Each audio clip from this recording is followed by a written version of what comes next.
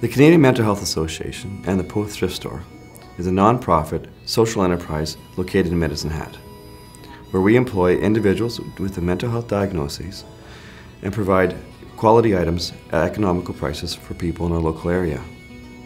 On the other side, we also work with advocacy, education of our local population of mental health issues and education.